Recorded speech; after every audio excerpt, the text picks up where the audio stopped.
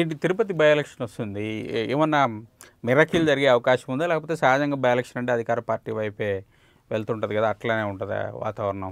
మీ expectations ఏంటి? ఎట్లా అనిపిస్తుంది? తిరుపతి మీద నేను అంత గొప్పగా స్టడీ చేయలేదు కానీ మొన్న మా పీసీ ప్రెసిడెంట్ గారు వెళ్ళి ఆల్రెడీ ఒక ప్రిపరేటరీ మీటింగ్ అది పెట్టారు.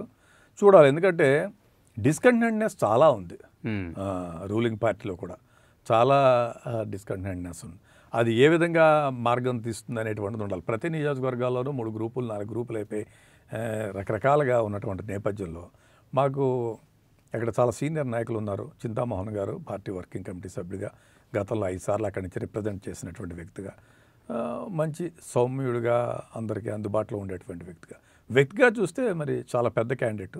సో పార్టీ తరపునే ఆయన మరి ఉంటారని మేము అందరూ కూడా భావిస్తూ ఉన్నాం. సో డెఫినెట్గా కాంగ్రెస్ పార్టీ కూడా కొంత అడ్వాంటేజ్ ఉండేటువంటి ఎందుకంటే స్పెషల్ కేటగిరీ స్టేటస్ అనేటువంటి ఇష్యూ వచ్చినప్పుడు. రాహుల్ గాంధీ గారు అదే తిరుపతి సభలో కాంగ్రెస్ పార్టీ అధికారంలోకి వస్తే నేను స్పెషల్ కేటగిరీ స్టేటస్ ఇస్తానని చెప్పడం జరిగింది. అదే తిరుపతిలో ప్రధానమంత్రి గారు మోసం చేయడం జరిగింది. ప్రధానమంత్రి గారు ఉన్నారు ఆ రోజు చంద్రబాబు నాయుడు గారు ఉన్నారు పవన్ కళ్యాణ్ గారు ఉన్నారు. వీళ్ళందరూ అక్కడ ఇస్తామని చెప్పి ఇప్పటివరకు ఇవ్వనట్టు మా నాయకుడు పార్టీ నాయకుడు మున్నుకోటి అనేటువంటి వ్యక్తి ఆత్మార్పణ చేసుకుని సెల్ఫ్ ఇమోలేషన్ చేసుకుని స్పెషల్ కేటగిరీ స్టేటస్ కోసం చనిపోయారు. సో మేము తిరుపతి పార్లమెంటు ఈ రాష్ట్రంలో ఉన్న ప్రజలందరికీ కూడా మేము విజ్ఞప్తి చేసేది అంటే ఆయనను స్ఫూర్తిగా తీసుకోండి. ఎవరైతే మునుకోటి అనేటువంటి కాంగ్రెస్ పార్టీ కార్యకర్త ఆ రోజు ప్రత్యేక తరగతి హోదా కోసం తన ప్రాణాలను బలిదానంగా పెట్టారు. ఏ విధంగా పొట్టి శ్రీరాములు గారి మన రాష్ట్రం కోసం పెట్టారో ఆ విధంగా చనిపోయారు. ఆయన స్ఫూర్తిగా కాంగ్రెస్ పార్టీకి మీరు అక్కడ అవకాశం ఇవ్వండి. డెఫినెట్గా కేంద్రంలో రాహుల్ గాంధీ గారి అధికారం వచ్చిన తర్వాత కాంగ్రెస్ పార్టీ ప్రత్యేక తరగతి హోదాని సాధిస్తుందని ఉందా అండి? ఇంకా సబ్జెక్ట్ మిగిలే ఉందా? జనాల్లో ఇంకా ఆలోచన ఉందా. జగన్మోహన్ రెడ్డి కూడా చాలా చాలా చాలా చాలా గంభీరమైన స్టేట్మెంట్స్ ఇచ్చారు. టీడీపీ వాళ్ళని రోజు అదరగొట్టారు బెదరగొట్టారు. మొత్తం రాజీనామా చేసి మీరు సెంట్రల్ నుంచి బయటికి రండి అప్పుడే కేంద్రం మెడల్ వంచుతాం. అట్లా ఇట్లా రకరకాలు చెప్పారు. మాకు ఇరవై ఐదుకి ఇరవై ఐదు ఇస్తే మేము మెడల్ వంచి తెస్తామని చెప్పారు. ఇప్పుడు ఆల్మోస్ట్ ఇచ్చినట్టున్నారు. మరి మెడల్ ఎక్కడ ఉంచుతున్నారో ఎక్కడ మాట్లాడుతున్నారో తెలియదు. ఆయన కూడా మాట్లాడట్లేదు. జనం కూడా పెద్దగా ఎక్స్పెక్ట్ చేస్తున్నట్టు కనిపించట్లేదు. మనకి. ఎందుకంటే ఇవన్నీ అక్యుములేట్ అయ్యి ఎలక్షన్ వరకు చూపిస్తారు ప్రజలు. ప్రజలు ప్రతిసారి ఓవర్ రియాక్ట్ ఏం కాదు. ప్రతిరోజు ప్రతి అంశానికి రియాక్ట్ కాడు. ప్రజాస్వామ్యం అల్టిమేట్గా ఇష్యూస్ అన్నీ రియాక్ట్ అయ్యి ఎలక్షన్స్ టైంకి వస్తాయి. స్పెషల్ కేటగిరీ స్టేటస్ అనేటువంటిది ఏపీ రీఆర్గనైజేషన్ యాక్ట్ ఇంప్లిమెంటేషన్ అనేటువంటిది it is sentiment of the Telugu people. ఎందుకంటే అది పార్లమెంట్ యాక్ట్ అయిన తర్వాత నాకు ఉద్యోగం వస్తుంది స్పెషల్ కేటగిరీ స్టేటస్ వస్తే ఉత్తరాంధ్ర అభివృద్ధి చెందుతుంది రాయలసీమ అభివృద్ధి చెందుతుంది ఈ స్కీమ్స్ అన్నీ ఒకటి రెండు మూడు నాలుగు ప్రాజెక్ట్స్ వస్తాయి ఇవన్నీ వచ్చినప్పుడు రాష్ట్రం అభివృద్ధి చెందుతుంది కదా. సో దాన్ని ఎందుకు కాదనుకుంటారు ప్రజలు? ఈరోజు కూడా ప్రజలు అంటే పాలకులు దీన్ని తప్పుదోవ పట్టించడం కోసం మసిబుసి మారడిగేడ చేయడం కోసం ప్రయత్నం చేస్తున్నారు కానీ ప్రజల్లో ఈవేళ కూడా ఉంది. ఇప్పుడు కూడా మరి జగన్మోహన్ రెడ్డిని నిలదీయట్లేరు జగన్మోహన్ రెడ్డిని అడగట్లేరు. సరే చంద్రబాబు నాయుడు చాప్టర్ అయితే అయిపోయింది. మీరు పక్కకున్నారు. వాళ్ళు బీజేపీ ఏదో ఓకే వాళ్ళు ఏదో చెప్తున్నారు. ఇప్పుడు జగన్మోహన్ రెడ్డి అంత సత్తా చూపించి అంత అద్భుతంగా చెప్పి మేము అట్లా ఇట్లా అని సవాల్ చేసి ఛాలెంజ్ చేసి అంత అదరగొట్టి ఇది చేసిన ఆయన ఇప్పుడు మాట్లాడకపోయినా జనం ఏమి అడగట్లేరుగా? టైం వచ్చినప్పుడు చెప్తారు మన ఇక్కడ తెలంగాణలో చెప్పారుగా కేసీఆర్ గారికి. సో ఎప్పుడో ఒక ఇండికేషన్ ఇస్తూ ఉంటారు తక్కువని ప్రజలు.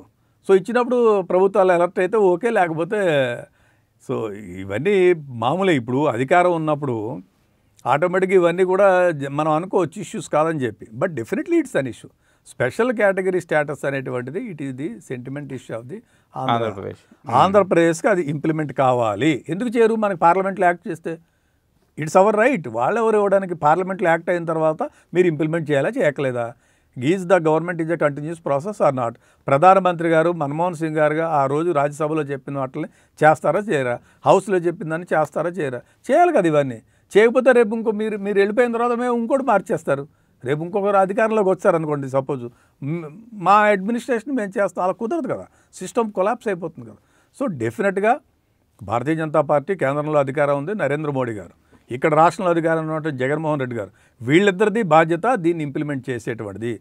ఇద్దరూ చేయట్లేదు కాబట్టి ఇద్దరికీ డెఫినెట్గా ఆంధ్ర రాష్ట్ర ప్రజలు ఏదో ఒక రోజు అవకాశం వచ్చింది అని తప్పనిసరిగా తగిన గుణపాఠం చెప్తారు. నేనేం చేయను అంటున్నాడు జగన్మోహన్ రెడ్డి. వాళ్ళకి మొత్తం మెజారిటీ వచ్చింది. రాకపోతేనే నేనేదో చేసేవాడిని. మరి నేను ఇప్పుడు చేయగలిగేది ఏంటి అని ఆయన సింపుల్గా అంటారు కదా. ఆ రోజున చేస్తున్నాడు వాళ్ళు కూడా. ప్రజలు కూడా అదే చెప్తారు. ప్రజలు కూడా అదే చెప్తారు. థ్యాంక్స్ అండి మీకు ఇంత అవకాశం ఇచ్చాం మీరు ఏదో చేస్తారనుకుని. ఎన్నికల ముందు ఈయన ధర్నాలు చేశారు కదా. ఈయన అన్నీ ఇది చేశారు కదా.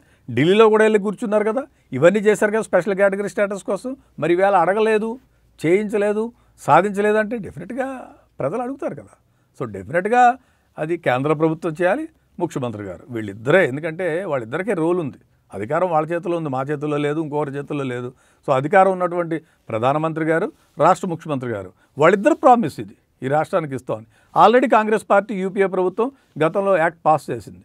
సో ఈ ఈ విషయంలో ఇంప్లిమెంటేషన్ ల్యాబ్స్ ఏదైనా ఉందంటే ఈ చీఫ్ మినిస్టర్గా ఈయన రెస్పాన్సిబిలిటీ తీసుకోవాలి ప్రధానమంత్రిగా వారి రెస్పాన్సిబిలిటీ తీసుకోవాలి. డెఫినెట్గా మాత్రం నేను చెప్తున్నా అది ఒక అంశము సెంటిమెంటల్ అంశము. అది ఏనాటికి లయలో ఉంటుంది. కాంగ్రెస్ పార్టీగా రాహుల్ గాంధీ గారు చెప్పారు నేను వచ్చిన తర్వాత సంతకం పెడతాన్నారు కాంగ్రెస్ వస్తే డెఫినెట్గా మేము దాని మీద పెడతాం. ఈ రాష్ట్రంలో మేము అధికారంలో ఉన్నా లేకపోయినా in the good interest of the people of the Andhra Pradesh డెఫినెట్గా దాన్ని మా జాతీయ నాయకత్వం ఇంప్లిమెంట్ చేస్తున్నాం. ఇలాంటి ఇంట్రెస్టింగ్ వీడియోస్ కోసం తప్పకుండా మా ఛానల్ని సబ్స్క్రైబ్ చేయండి.